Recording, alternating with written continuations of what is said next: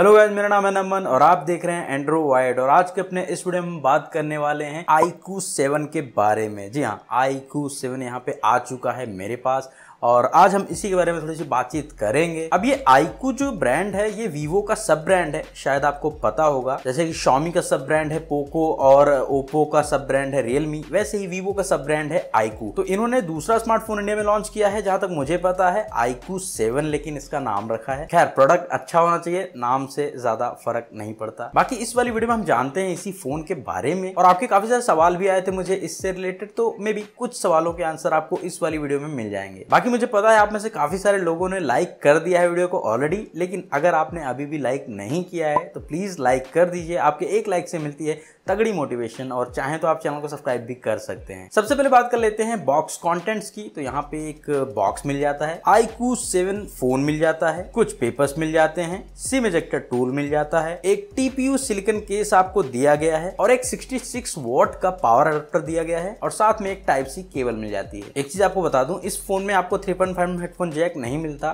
But उसका connector भी नहीं दिया गया है बॉक्स में। और एक चीज़ और क्लियर कर दूँ कि बैग जो है, वो ग्लास का है मैट फिनिश के साथ आता है, और जो साइड है, वो प्लास्टिक है। मतलब फ्रेम इसका प्लास्टिक का है। अब अगर प्राइसिंग की बात कर लेते हैं तो दो वेरिएंट में वाला स्मार्टफ़ोन आता है। प्राइसिंग आप देख सकते हैं यहाँ पे। लेकिन जो बेस वेरिएंट है eight GB one twenty eight GB ये आपको डिस्काउंट लगा के कार्ड ऑफ़र लगा के मतलब अट्ठाईस हज़ार रुपए के आसपास भी मिल सकता है। तो अट्ठाईस हज़ार रुपए के हिसाब से वाला स्मार्टफ़ोन मुझे मतलब काफ़ी ज़्यादा पसंद आया। अगर कुछ स्पेसिफिकेशन की बात करते हैं तो six point six two inches की एक एमएलएड डिस्प्ले मिल जाती है आपको यहाँ पे। One twenty hertz refresh rate है three hundred hertz touch sampling rate है H D R ten plus certified है इसकी डिस्प्ले और जो पीक ब्राइटनेस है थर्टीन हंड्रेड निट्स है ऑन पेपर और जनरली यूज़ किया है तो ब्राइटनेस बहुत कमाल की है इस वाले स्मार्टफ़ोन की। और साथ इसमें इंटेलिजेंट डिस्प्ले चिप अलग से लगाई गई है। ये M E M C technology को यूज़ करती है। और आर्टिफिशियली गेम्स के अंदर और ज़्यादा फ्रेम्स को ऐड करती है थोड़ा और स्मूथ एक्सपीरियंस देने के लिए। आपने सुना होगा वन प्लस के स्मार्टफोन्स में ये टेक्नोलॉजी यूज़ करी जाती थी वीडियोस के अंदर।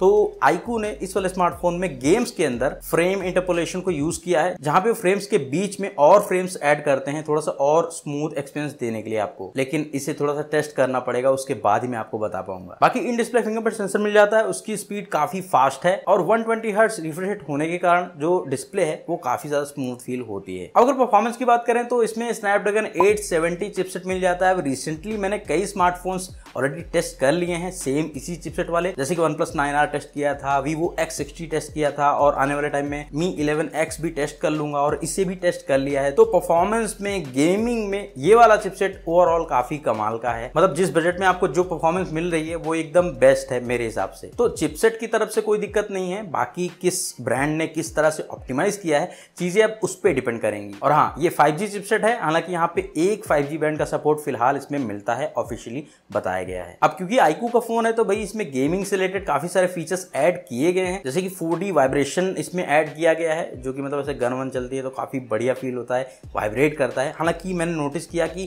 कभी कभी गन ना चलने के केस में भी ये वाइब्रेट कर जाता है तो मुझे थोड़ा सा समझना पड़ेगा कि किस किस केस में ये वाइब्रेट करता है। और कुछ गेम्स में एम टेक्नोलॉजी इनकी वर्क करती है, जो कि एक्स्ट्रा फ्रेम्स ऐड करती है, और स्मूथ एक्सपीरियंस देने के लिए, जैसे कि कॉल ऑफ़ ड्यूटी मोबाइल मैंने ट्राई किया था इसमें।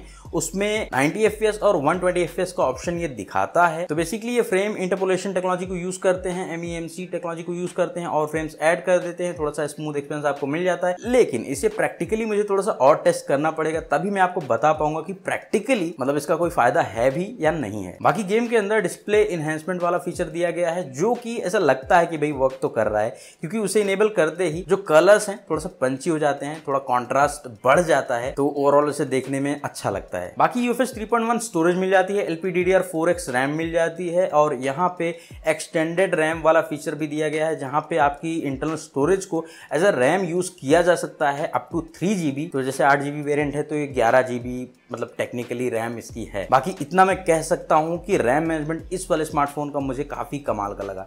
वीवो एक्स सिक्सटी भी हमने यूज़ किया था, उसके अंदर भी वाला फीचर दिया गया था। अब बात करते हैं कैमरा के। तो यहाँ पे आपको ट्रिपल रेयर कैमरा दिया गया है। प्राइमरी 48 मेगापिक्सल का कैमरा सेंसर मिल जाता है, जो कि सोनी का आई एम एक्स अब इसमें OIS भी मिल जाता है ऑप्टिकल इमेज स्टेबिलाईजेशन साथ में थर्टीन मेगापिक्सल का अल्ट्रा वाइड सेंसर मिल जाता है, जो कि एज अ मैक्रो कैमरा भी काम करता है और मैक्रो इमेज इसकी भी काफ़ी अच्छी लगी, काफ़ी शार्प काफ़ी डिटेल्ड और काफ़ी क्लोज आप जा सकते हैं ऑब्जेक्ट के। बाकी दो मेगापिक्सल का मोनो सेंसर दिया गया है। अब चाहते तो आईकू वाले इसे हटा सकते थे, लेकिन मतलब दे दिया है। बाकी 16 मेगापिक्सल का सेल्फी कैमरा मिल जाता है। कैमरा यूआई टिपिकल वीवो जैसा ही है, क्योंकि फ्रंट टच वैसे आपको इसमें भी मिलता है। तो फीचर रीच है, काफ़ी सारे फीचर्स है, इन्हें हम आगे आने वाले वीडियोस में एक्सप्लोर करेंगे। तो चैनल को सब्सक्राइब कर लीजिए। बाकी इनिशियली कुछ इमेज मैंने कैप्चर करी है इसकी, वो आप यहाँ पे देख सकते हैं। मुझे ओवरऑल कैमरा पसंद आया। जो रेयर प्राइमरी कैमरा है, उसमें ऐसा कहीं कहीं लग रहा है मुझे कि कलर्स को थोड़ा सा फेड करता है कुछ कुछ कंडीशंस में। But overall details dynamic range के हिसाब से मुझे कैमरा अभी तक सही लगा है। अल्ट्रा वाइड सेंसर भी मुझे अभी तक सही लगा और अल्ट्रा वाइड ने ज़्यादा नेचुरल कलर्स को प्रोड्यूस किया है जितना मैंने अभी तक टेस्ट किया है। बाकी फ्रंट कैमरा इंडोर्स में काफ़ी कमाल परफॉर्म कर रहा है मतलब काफ़ी अच्छी डिटेल्स रहती हैं और स्किन टोन्स भी काफ़ी बढ़िया रहती हैं। आउटडोर्स में भी अच्छा परफॉर्म कर रहा है, लेकिन इसके अंदर भी मैंने वही बग नोटिस किया जो कि वीवो एक्स में नोटिस किया था, यानी कि फ्रंट कैमरा में जब हम पोर्ट्रेट इमेज कैप्चर करने जाते हैं तो कई बार, काफ़ी ज़्यादा बार बैकग्राउंड ब्लर अप्लाई ही नहीं करता। व्यू फाइंडर में दिखता है कि हाँ भाई बैकग्राउंड ब्लर हो रहा है, लेकिन इमेज जब प्रोसेस होकर आती है तो वहाँ पे बैकग्राउंड ब्लर अप्लाई नहीं होता। तो ये एक बग है जो कि इस फ़ोन में भी है। बाकी वीडियोस आप up to 4K 60 fps shoot कर सकते हैं। 1080p 60 fps में भी शूट कर सकते हैं, लेकिन 4K 60 fps में OIS काम नहीं करता EIS भी काम नहीं करता। बाकी कैमरा की फुल टेस्टिंग आगे होगी और सब कुछ आपको डिटेल में बताऊँगा। तो चैनल को सब्सक्राइब करके रख लीजिए। और वीडियो को अगर आपने अभी तक लाइक नहीं किया है तो लाइक भी कर दीजिए। एक चीज़ और अच्छी लगी इस वाले स्मार्टफ़ोन में कि यहाँ पे डुअल स्पीकर आपको मिल जाते हैं और लाउडनेस और साउंड क्वालिटी मुझे काफ़ी बैलेंस काफ़ी बढ़िया लगी। लेकिन साथ ही एक चीज़ मुझे थोड़ा कम अच्छी लगी। इस वाले स्मार्टफ़ोन में 4G प्लस के सिग्नल्स अभी तक मुझे देखने को नहीं मिले। मुझे पता है आप में से काफ़ी सारे लोग पूछ रहे थे मुझसे कि भाई 4G प्लस का सपोर्ट है इसमें या नहीं। तो यहाँ पे मैंने पता किया था तो ऐसा बोला जा रहा है कि भाई इसमें 4G प्लस का सपोर्ट है, लेकिन कम बैंड पे है। लेकिन जो सबसे कॉमन बैंड है बैंड 40 या फिर कहें 2300 उस बैंड पे भी 4G प्लस का सपोर्ट इस वाले स्मार्टफ़ोन मुझे देखने को नहीं मिला है। तो ये मेरे लिए सरप्राइजिंग था कि इसमें 4G प्लस का सपोर्ट किन बैंड पे दिया गया है एग्जैक्टली वो शायद आईकू ही क्लियर कर सकता है या फिर अपडेट के थ्रू वो और बैंड्स को अगर इनेबल कर देते हैं तो काफ़ी अच्छा रहेगा। अदरवाइज़ अभी तो इसमें उतना अच्छा 4G कैरियर एग्रीगेशन का सपोर्ट नहीं मिलता। बाकी कुछ लोगों का सवाल था कि क्या इसमें कॉल रिकॉर्डिंग मिल जाती है? ऑटो कॉल रिकॉर्डिंग मिल जाती है? तो जी हाँ यहाँ पे वीवो का डायलर आपको मिलता है, उन्हीं का मैसेज भी मिलता है। तो यहाँ पे आप ऑटो कॉल रिकॉर्ड कर सकते हैं मतलब सामने वाली पार्टी को पता नहीं चलेगा और कॉल रिकॉर्डिंग कर सकते हैं आप चुपके से। बैटरी 4400 mAh की है और 66 वॉट की चार्जिंग को सपोर्ट करता है और फ़ोन काफ़ी ज़्यादा तेज़ी से चार्ज होता है और साथ ही बैटरी बैकअप मैंने अभी तक जितना टेस्ट किया है, मुझे काफ़ी सही लगा है इसका। बाकी आने वाले टाइम में और टेस्ट करके आपको एक्जैक्टली बताऊँगा कि स्क्रीन टाइम कितना मिलता है, किस तरह के टास्क को करने के बाद। अब सॉफ्टवेयर की बात कर लेते हैं तो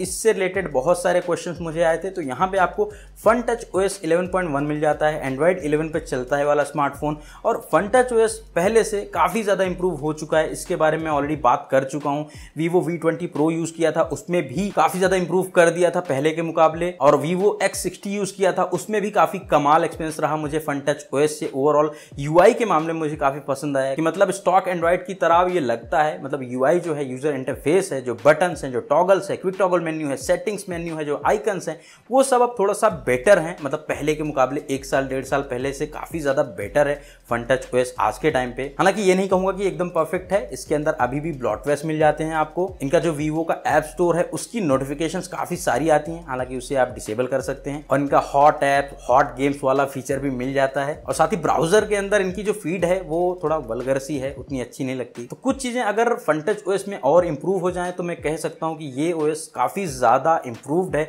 और काफ़ी कमाल का है आज के टाइम पे। और ओवरऑल जितना मैंने यूज़ किया, कोई भी लैग कोई भी फ्रेम ड्रॉप अभी तक नोटिस नहीं किए। काफ़ी स्मूथ एक्सपीरियंस मुझे मिल रहा है और कस्टमाइजेशन के काफ़ी सारे फीचर्स मिल जाते हैं इसमें। हैप्टिक फीडबैक भी इस वाले स्मार्टफ़ोन का मुझे काफ़ी बढ़िया लगा। डिज़ाइन एंड बिल्ड की बात कर लेते हैं, जैसे मैंने आपको पहले बताया कि यहाँ पे ग्लास मिल जाता है मैट फिनिश के साथ आता है।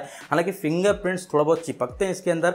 और जो ये कैमरे के नीचे वाला पार्ट है, ये ग्लॉशी फिनिश के साथ आता है, बाकी मैट है। और साइड आपको प्लास्टिक का मिल जाता है। बट ओवरऑल अगर बजट के हिसाब से देखते हैं तो मुझे इसका इन एंड फील और बाकी चीज़ें काफ़ी अच्छी लगी। थोड़ा सा कर्व ग्लास आपको पीछे की तरफ़ देखने को मिल जाता है। बट सिम स्लॉट की बात करते हैं तो डुअल सिम स्लॉट आपको इसमें मिल जाता है। अगर थोड़ी सी बात करते हैं क्वालकॉम स्नैपड्रैगन 870 चिपसेट की तो जब ये लॉन्च किया गया था तो काफ़ी सारे क्रिएटर्स ने और मैंने भी यही बोला था कि ये वाला चिपसेट जो है 865 का अपग्रेडेड वर्जन है रीब्रांडेड वर्जन है। लेकिन आज के टाइम पे जब मैंने कई स्मार्टफोन्स यूज़ किए और जिस प्राइस पे स्मार्टफोन्स आज के टाइम पे आ रहे हैं इस चिपसेट के साथ, वो मुझे काफ़ी अच्छा लग रहा है। मतलब काफ़ी वैल्यू फॉर मनी लग रहे हैं ये वाले स्मार्टफोन्स क्योंकि normal day to day performance के हिसाब से हैवी टास्क के हिसाब से और गेमिंग परफॉर्मेंस के हिसाब से हम मतलब इसमें कोई कमी नहीं निकाल सकते। चिपसेट काफ़ी कमाल का है, साथ में फाइव का सपोर्ट भी मिल जाता है। क्योंकि स्नैपड्रैगन एट चिपसेट के साथ आज के टाइम पे अंडर थर्टी थाउज़ेंड आपको कुछ स्मार्टफोन्स देखने को मिल जाते हैं। साथ ही आपको बेटर कैमरा मिल जाता है better build better battery better charging speed better display refresh ये सब चीज़ें मिल जा रही हैं। तो एक अच्छा कॉम्बिनेशन बन रहा है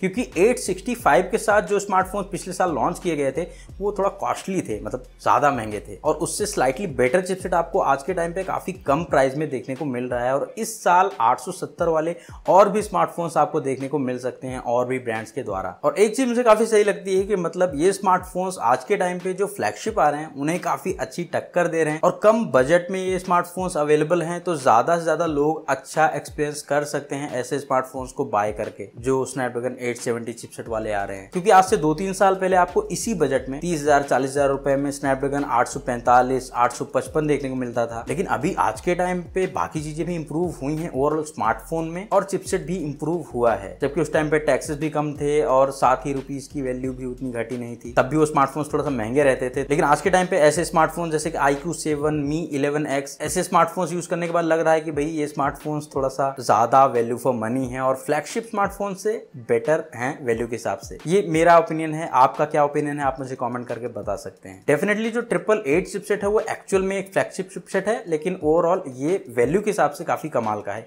यही कहना चाहता हूँ मैं। बाकी दोस्तों, ये वाला वीडियो आईक्यू सेवन का रिव्यू नहीं था, बस मेरे इनिशियल इंप्रेशन थे। यहाँ पे मैंने ज़्यादा से ज़्यादा इन्फॉर्मेशन आपको देने की कोशिश करी, बाकी अभी इसे और अच्छे से टेस्ट करेंगे और स्मार्टफोन्स के साथ कंपेयर करेंगे और सब कुछ आपको बताएँगे इस वाले स्मार्टफ़ोन से रिलेटेड जो प्रोज हैं, जो कॉन्स हैं, सब कुछ आपको बताए जाएँगे। तो आप चैनल को सब्सक्राइब कर सकते हैं। साथ ही एक सवाल का जवाब ज़रूर दीजिएगा कॉमेंट में, किस स्मार्टफ़ोन के साथ आप इसका कंपेरिजन चाहते हैं? काफ़ी सारे स्मार्टफोन्स हैं मेरे पास, इसके टक्कर वाले तो आप बता सकते हैं, लड़ाएँगे सबको। बाकी दोस्तों, आज वीडियो में फ़िलहाल इतना ही। अगर आपको वीडियो अच्छी लगी हो तो आपको पता है आपको क्या करना है।